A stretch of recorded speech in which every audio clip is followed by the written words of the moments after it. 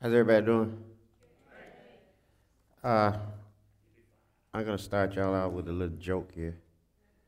And uh, it's called Pastor, your sermon reminded me of the peace and love of God.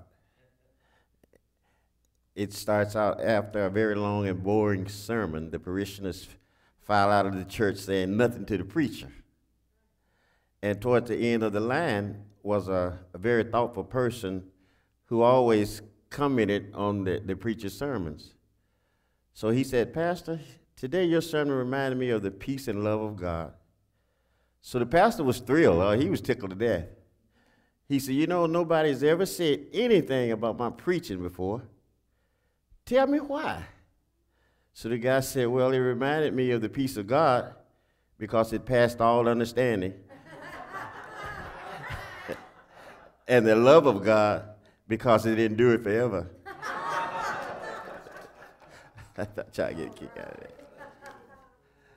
Okay, what we're going to talk about tonight is getting understanding. And uh, I want you to ask yourself this question in your mind Why is it so important that we have an understanding or we get an understanding of God's Word? Just think about that for a minute. And uh, in my mind, we should get understanding of this word because it's from God. It's God's word, and we should get understanding of it. You know, and what could be more important to us or anybody else than understanding what the creator of the whole universe has to say to us? God's got a lot to say to us and it's all right here. And we should have an understanding of this. And when we open up the Bible and we begin to read the Word of God, right off we should realize that this is a message from God Almighty to each and every one of us.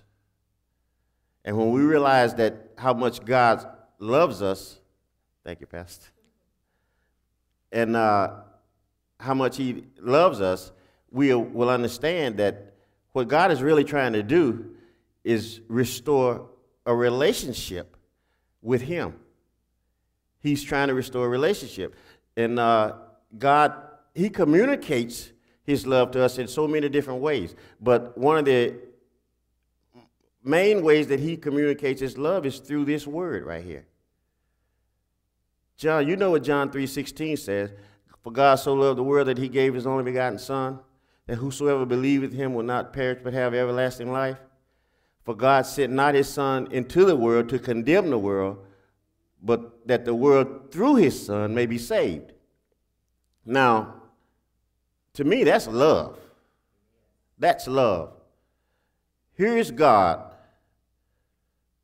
the creator of the whole universe. And we know that the universe is vast. We saw that teaching by Giglio, how vast the universe is. Now, but here's the creator of the universe God Himself. He left heaven, stepped into His own creation, and died for somebody else, somebody else's sin. Now, that's love. He didn't have to leave heaven. But he left that because he wants a relationship with us and he wanted us to be saved. Now, in our minds, we can't think of any other way possible that we could have been saved. We can't think of any other way. But God knew what He was doing. And God did that. And He did it for me, and He did it for each and every one of you. Now, in John, 1 John 3 1 says, Behold, what manner of love the Father had bestowed upon us that we should be called sons of God. Therefore, the world knoweth us not, because it knew him not. Now, that says a whole lot to me. As Christian folks, the world don't know us. We know the world, but they don't know us because they don't know God. You can't know the Father without knowing his children. You can't know the children of God without knowing the Father. Now, the world, they are his children too, don't get me wrong. But they're not serving him. We are. That's why they don't know us. Now, it's about understanding, getting understanding. Now, when we seek understanding of the Bible, we seek understanding of this word just like a, a mechanic would try to seek understanding from a, a manual. Now, a mechanic, he knows his job, but there are certain times when he get caught between a rock and a hard place. And he's got to go to that manual to get understanding of what he's trying to fix. Because we know that things are going to go wrong in this world. Everything ain't going to be perfect. And just like that repair manual, this is our repair manual, this word. This word uh, diagnosed the problem. A lot of times that problem is sin. But this manual also point out the solution to that problem. And the solution to that problem is our faith in Christ. That's the solution to any problem we might have. But God put it in His Word. We can read it, we can go to it. This manual, getting understanding. Now, the Bible tells us that for the wages of sin is death, but the gift of God is eternal life through Christ Jesus. Now, let's look at that a little bit closer. For the wages of sin is death. Y'all get that? The wages of sin is death. Let's say you got a job. You work five days a week. On that Friday, you're going to get a check. That's your wages you're going to get paid for what you just did. Okay? Now, for the wages of sin is death. So if you sinning, you're going to get paid. You're going to still get some wages. You know, so the best thing for you to do is not to sin. Like Pastor said, you don't get up every morning, I know, and say, I'm going to sin three times today. You know? But the, so the wages of sin is, is death. Getting understanding. That's what we're talking about, getting understanding. Now, we seek understanding of the Bible the same way that a, a driver in a car would seek understanding of a traffic signal. Now, would any of you run through a red light? No. Because you don't know what's on the other side of that light. You could kill yourself if you run that light, or you could kill somebody else if you run through that light. Now, the Bible does the same thing. It gives us the guidance that we need to go through life. It gives us the, uh, it shows us the road of safety that we should take. It shows us the wisdom that we need. And it shows us that when we get to a red light of sin, we need to come to a complete stop. We need to stop and evaluate the problem. What I'm saying is this we come to the red light of sin. We evaluate the problem by saying, What's the consequence if I do this? What's the price I got to pay if I do this? If I commit this sin, what's the consequence? It's like reaping what you sow or cause and effect. So when you get to that red light of sin, or when we get to that red light of sin, we have to come to a complete stop, evaluate the consequences, and then go on through that light. Not the light of sin, but go on through that light of righteousness. Getting understanding. We also seek understanding of the Bible for the same reason that somebody that's, say, caught up in a storm wants to understand the weather report. Now, the Bible predicts a whole lot of things. The, the Bible predicts what the end times are going to be like. Now, when I say the Bible predicts these things, I'm not saying that the Bible say, well, this is sort of like what it's going to be like, or it might be this way. Uh-uh. No. The Bible gives us a clear warning of every judgment that's found in this life. And uh, it's, you can find a lot of that stuff in Matthew 24, 25. But most importantly, the Bible tells us how to avoid things. Romans 8, 1 says, There is therefore now no condemnation to them which are in Christ Jesus, who walk not after the flesh, but after the Spirit. We know if we walk after the flesh, there's going to be some serious consequences. Because the Bible says this there is no good thing in the flesh. Ain't no good thing in this right here. We have to try and walk in the Spirit. And to walk in the Spirit, we need to get this word in us. That way we can walk in the Spirit and not in the, in, in, into the flesh, getting understanding. Now, in the Bible we seek understanding of the Bible for the same reason that a reader would seek understanding of his favorite book, which, by the way, should be the Word of God. That should be our favorite book. That should be everybody's favorite book, is the Word of God. You see, the Bible reveals things to us about God, it reveals God's person, it reveals to us God's glory. And all that is expressed through his son, Jesus Christ, which is a carbon copy of the Lord. Now, the more we read, the more we understand. And the more we understand, the closer we come to that author, which is God Himself. Getting understanding. Now, here's what the Bible says in Hebrews 2 16 through 18. For as we all know, he, they're talking about Jesus, did not take hold of angels, talking about fallen angels here, to give them a helping and delivering hand. But he did take hold of the fallen descendants of Abraham to reach out to them a helping hand and a delivering hand. Now that tells me that when them angels fell out of heaven, God didn't give them a helping hand and say, okay, boys, here's what we're going to do. You made a mistake.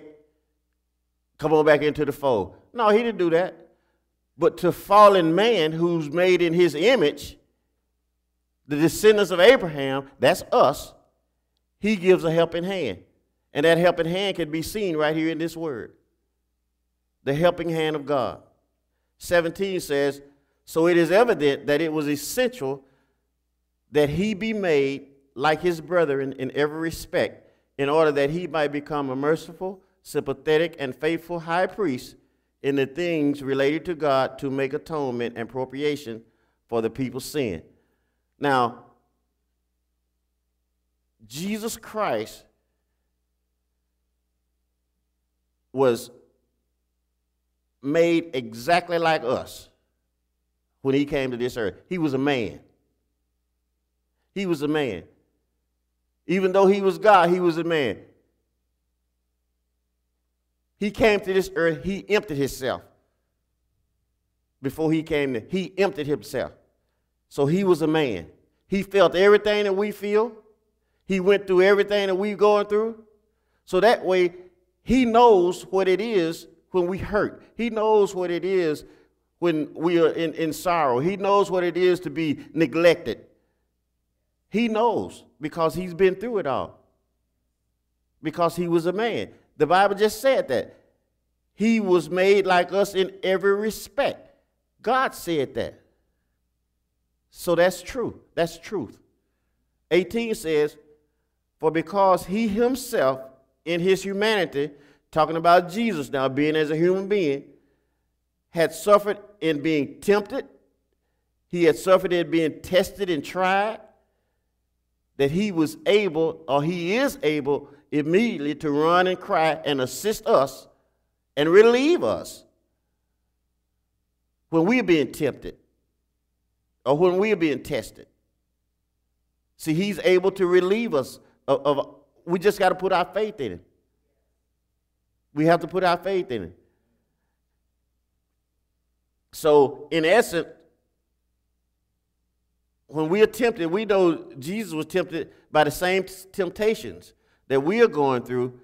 Jesus overcame it.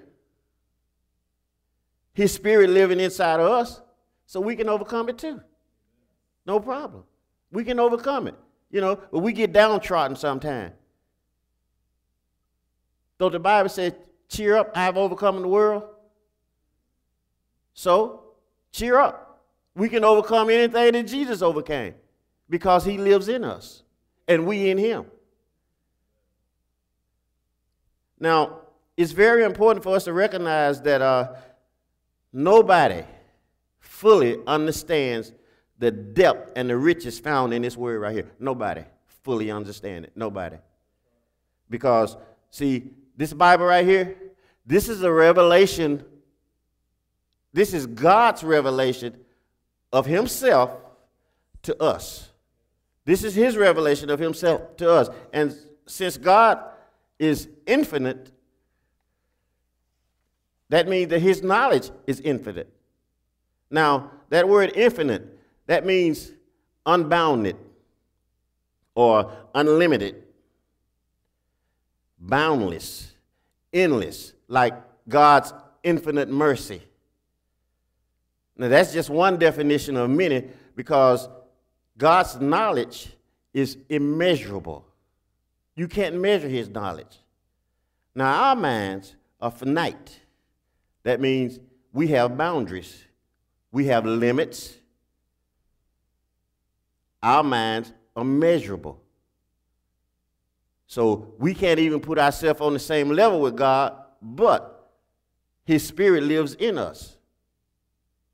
You know, His Spirit lives, it don't live in the ant, it don't live in the elephant, it lives in us. We were made in the image of God.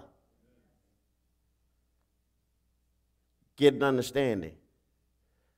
And in our reality, that makes us very, very incapable of fully understanding the depth of the truth.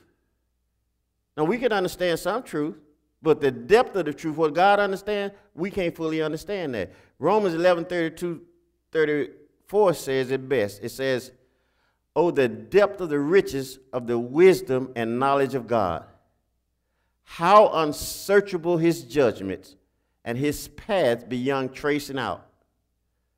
Who has known the man of the Lord?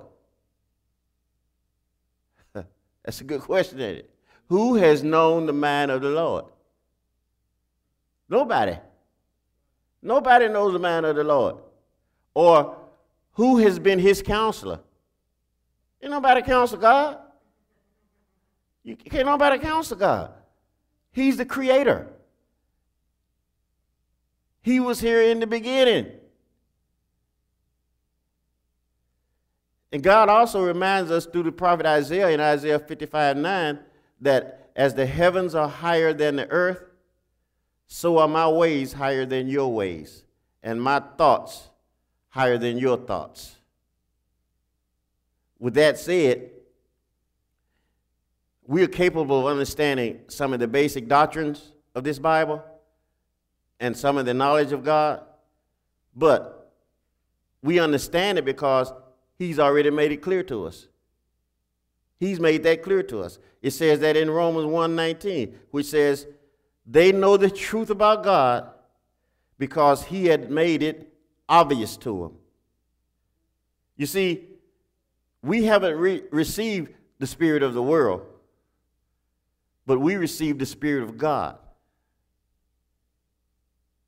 That we might know the things that God has freely given us and told us in His Word. And these things that we know, we speak. But not in the words of uh, a man's wisdom or a man's teaching.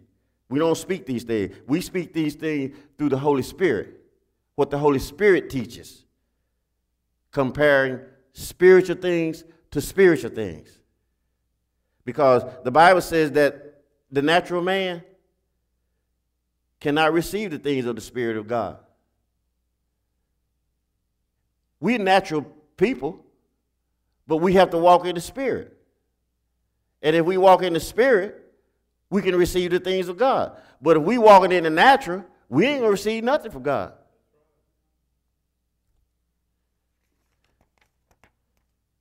Because the natural man think that the things of God is foolishness.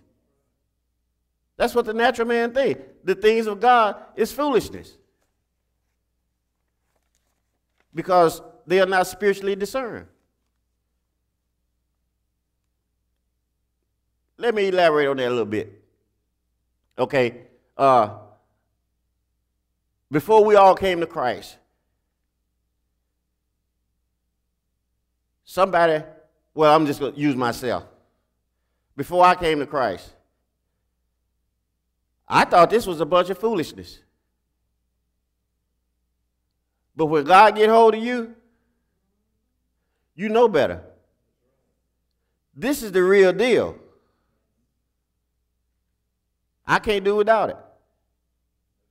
And you know what?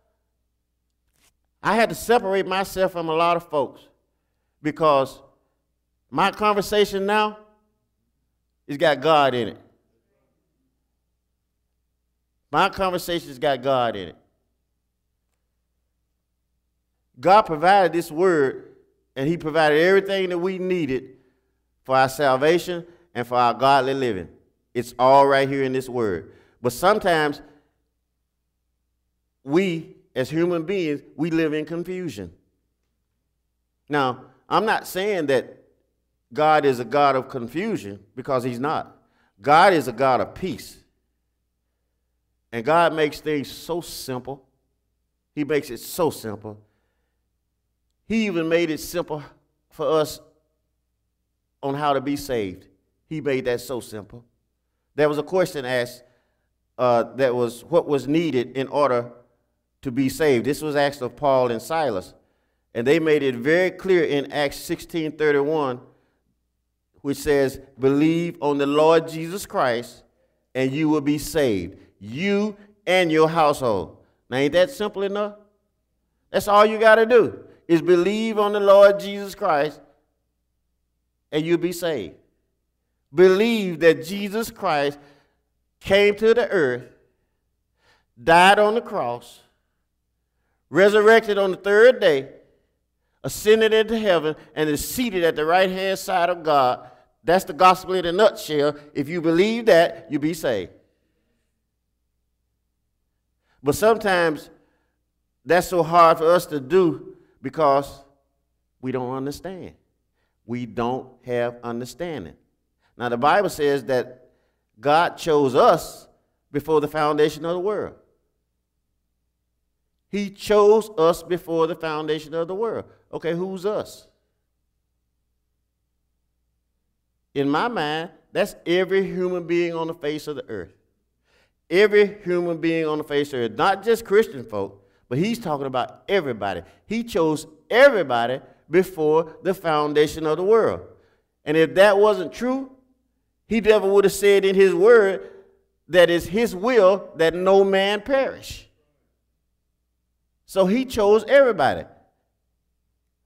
And he left everything else up to us. See, we have that right to choose. We have that right to choose. You know, and uh, with that ability to choose, we have the ability to understand this word, and we have the ability not to understand this word. But God left that up, uh, up to us. In John 6 28 29, Jesus was asked, What must we do to do the works that God requires? And Jesus answered, the work of God is this to believe in the one he has sent. Simple enough. Who did he send? He sent Jesus. So if you believe in the one he sent, you're doing all right. Getting understanding. Getting understanding. Now, understanding don't save us. That don't save us.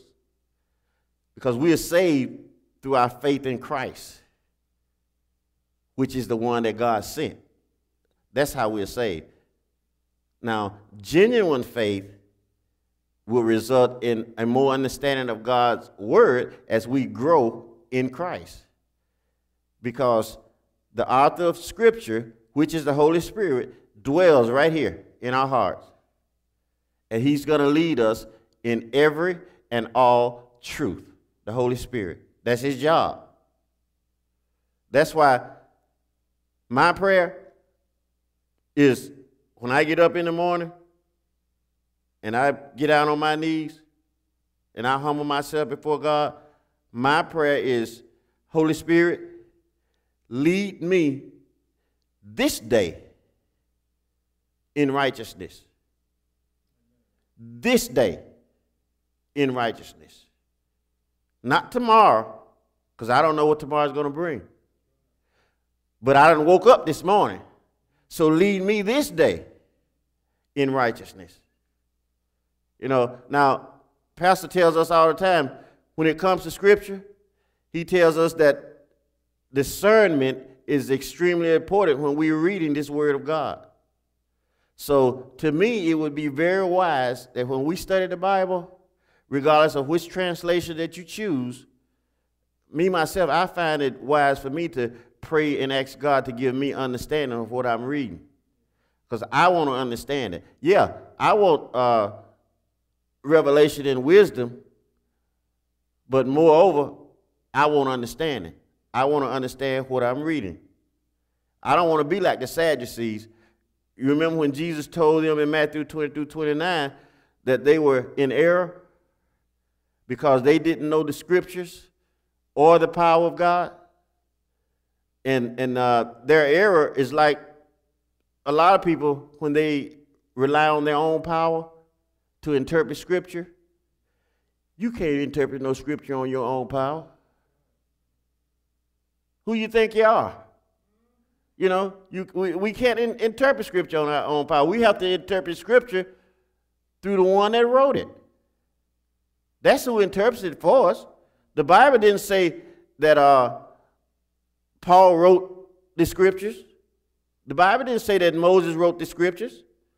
The Bible makes it perfectly clear that all scripture is God breathed.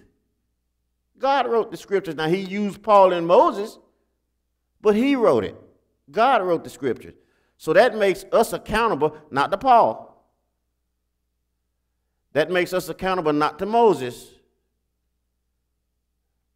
but it makes us accountable to the Lord for the use of these resources right here, which is His Word. It makes us accountable to Him, getting understanding. And when we have a respect and understanding of God's Word, guess what? That Word is going to produce a desire in our hearts to obey the Lord. It's going to put a desire in our hearts to obey the Lord. You know, now, I'm going to ask you something. Do you have respect and understanding of God's word? Think about that. If you do, you promised a long life, strong confidence, and a place of refuge. If you have respect for this word right here. You see, when you keep God's word, it brings us under the umbrella of his protection. And that's where you want to be, under the umbrella, umbrella of his protection. Now, it's like going outside in the rain. If you go outside in the rain and you don't got an umbrella, you're going to get wet. But if you are under the umbrella of God's protection, there's nothing can touch you. But a lot of times, we don't understand the Bible because we are reluctant to accept what the Bible says. There's a whole lot of people like that. I used to be that way.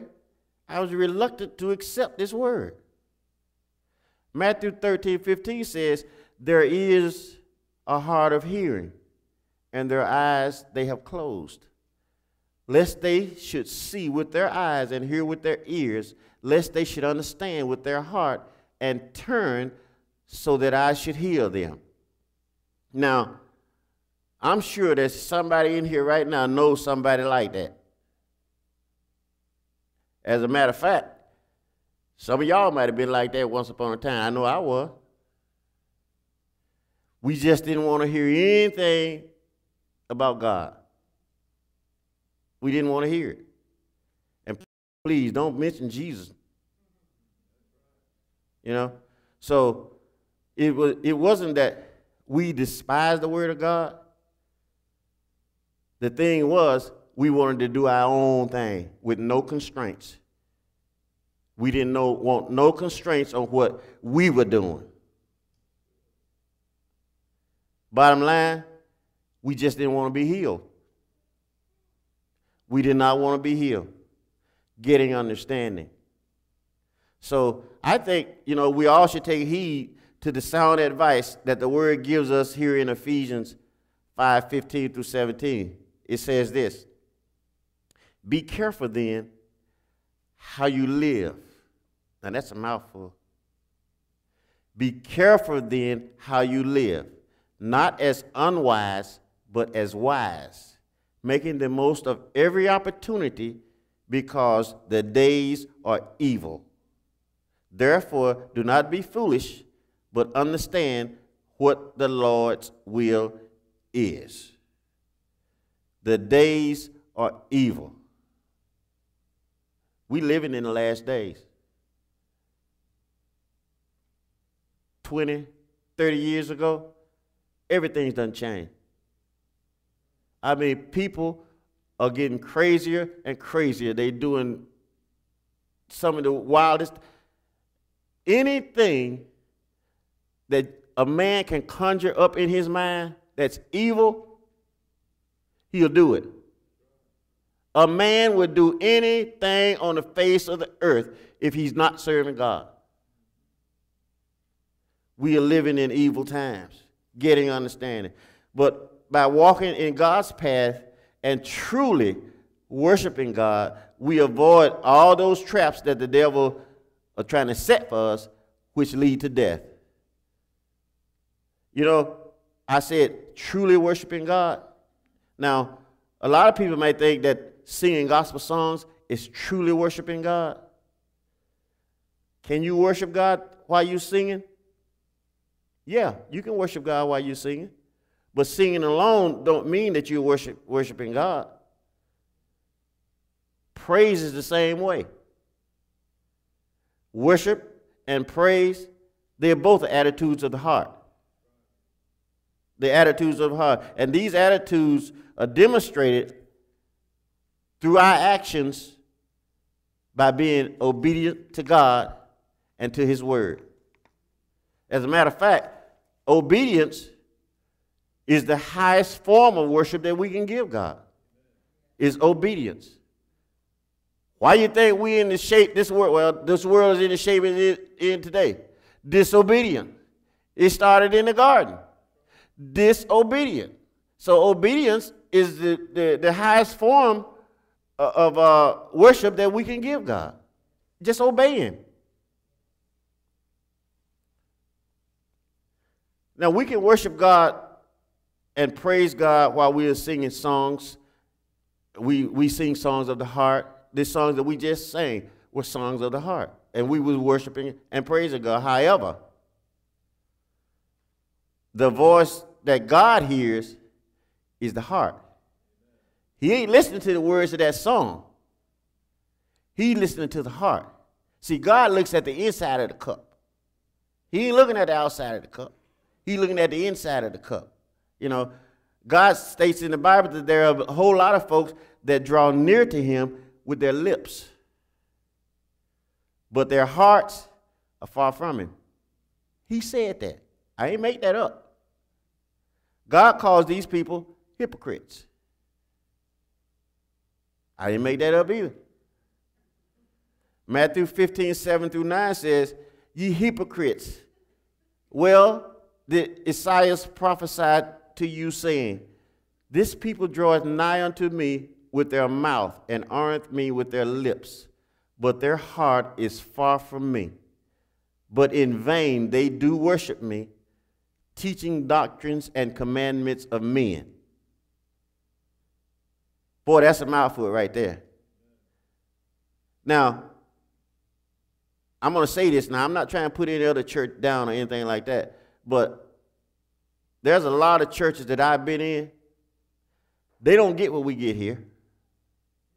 They don't get what we get here. I just read, but in vain they do worship me, teaching for doctrines and commandments of men. We don't, we don't get doctrines of men here. We get the word of God here. Not doctrines of men, because doctrines of men ain't gonna do nothing for you. It's the word of God. This is what we get here. Because the heart or the spirit of a man speaks louder than his word could ever speak. God looks at the heart. He ain't listening to the word. He hear the words, but he looks at the heart. I love you, Lord. He look at your heart. And if you lying, he know you lying. Because he looking at your heart. You know? So he sees the heart of every man. I'm talking about every man on the face of the, the earth, not just the outward appearance. He looks at the heart. He stated this to Samuel when he chose David to become the king over Israel. Although uh, Saul, now on the outside, Saul looked like a king. You know, he had on his Gucci suit, you know, his Florsheim shoes. He looked like a king on the outside. But God saw his heart. He saw the heart, and he anointed David to rule in his place because he saw the inside. And here's what the Lord said in 1 Samuel 16, 17. But the Lord said unto Samuel, Look not on his countenance or on the height of his stature, because I have refused him. For the Lord see it not as a man see it. For man looketh on the outward appearance, but the Lord look at the heart. Bottom line, without God, every man's on the face of the earth, his heart is wicked and deceitful without God. Every one of us in here, right here, right now, before we came to the Lord, our hearts were wicked and deceitful. Every one of us. You know I'm telling the truth. And we were that way because we didn't have understanding or we didn't read this word to get understanding. But once we read this word and God got a hold of us, our heart changed. But God did it. We didn't do it. God did it. Because God said, I will do a good work in you until the coming of the Lord. See, He changed us. You remember when Philip was traveling to Gaza and the Holy Spirit led him uh, to a man who was reading a portion of Isaiah? This is talking about getting understanding now. And Philip approached the man and uh, he saw what the man was reading and he asked the man an important question. He said, Do you understand what you're reading? That's what he asked him. Now, Philip knew that uh, understanding was the uh, starting point for faith. That's the starting point of faith, getting understanding. So without understanding the Bible, we can't apply it. Without understanding the Bible, we can't obey it. And without understanding the Bible, we can't even believe it. If you don't understand this, how you going to believe it? You can't. But you got to understand it. So, to be as clear on this, John wrote, For God did not send his Son into the world to condemn the world, but to save the world through him. Whoever believes in him is not condemned, but whoever does not believe stands condemned already, because he has not believed in the name of God's one and only Son. Getting understanding. There's a whole lot of themes in the Bible that refer to salvation. You know what they are? Believe. Believe. There, there's a whole lot of passages that uh, we probably don't understand, you know, but in our faith in Jesus as our personal Lord and Savior and as our personal Redeemer, we can continue to get more understanding as we read, as we study, and as we rely on the Holy Spirit to guide us in all truth. So, in summary, what's the proper way to study the Bible? We should study the Bible through prayer and humility. And we should rely on the Holy Spirit to give us the understanding of what we're reading. We should always study Scripture in its context, recognizing that the Bible, it explains itself. It always explains itself. And we must remember that God is the author of this word, and He wants us to understand it. He wants us to understand it. And one of the most important things that we have to do is die to self. We have to die to self. Example. Let's say you put a, a, a, dead body in front of me right here, right now. Now, I can spit on that body. I can slap that body. I can talk about that body. And guess what? That body ain't going to respond. It's not going to respond. Why? Because it's dead. It's a dead body. And that's the way we ought to be when it comes to self and to sin. But you know, self is so alive in us all. It's so alive. You know, you see, we think sometimes that we do everything on our own without the help of God. Self. Because self thinks that self is in charge. You know, and, and uh, without God, ain't nothing we can do worthwhile. Nothing. Nothing we can do worthwhile. I can tell you that self ain't in charge of nothing. Now, if you think you in charge, try this right here. Listen to me now. If you think you in charge, try this. I want you to go to bed this morning at 1:15 a.m. Okay? Then I want you to get up exactly at 3:27 a.m. If you in charge, you can do that. Now don't use an alarm clock. But if you in charge, do that.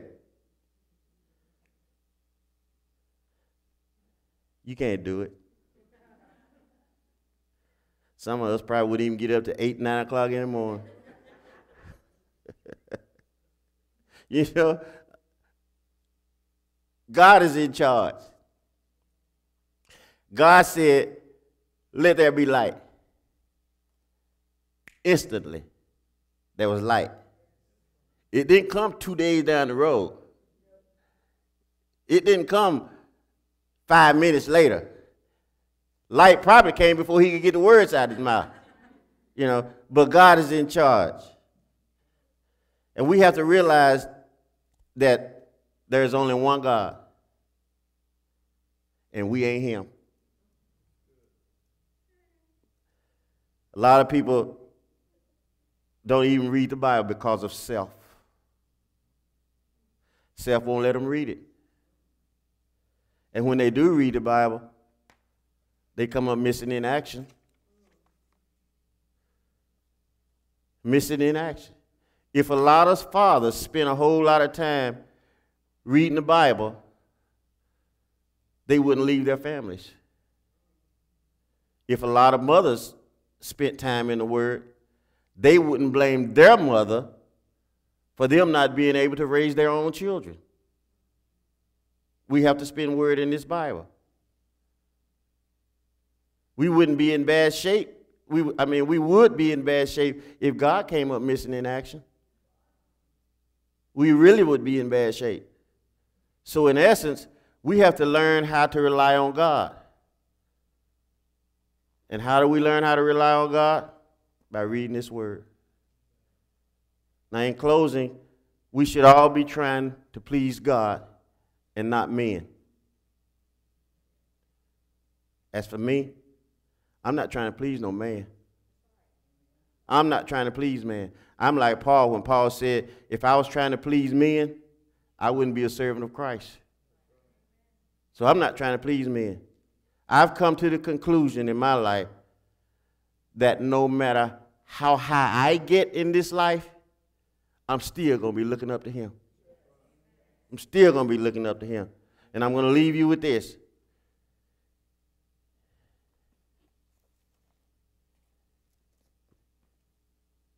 If you can conceive it, you can achieve it.